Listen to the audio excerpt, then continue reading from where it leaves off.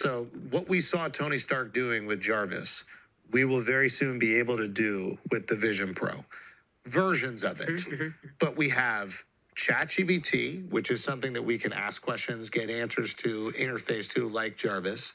I mean, once they integrate, you know, their version of ChatGPT with this, Yeah. think about what's gonna think about that. Apple's AI Yeah. Let's call it uh fucking banana. Whatever it is hey banana can you bring up uh my schedule for today? Schedule pops up on your oculus you're brushing your teeth. Ugh, move that thing to this thing what over here. What's the best way for me to get sushi before eight o'clock? These things are suggested could you call the block I, maybe you can maybe you can or- or could you go on Resy There's go on- auto schedulers and stuff. Yeah. Yeah. i mean what It's i'm going to saying be upgraded. He's going to be Jarvis. Yeah. But- But what I'm saying is, since it's completely seamlessly integrated within your Apple i- uh, world, everything can be done through Siri or whatever their AI function is.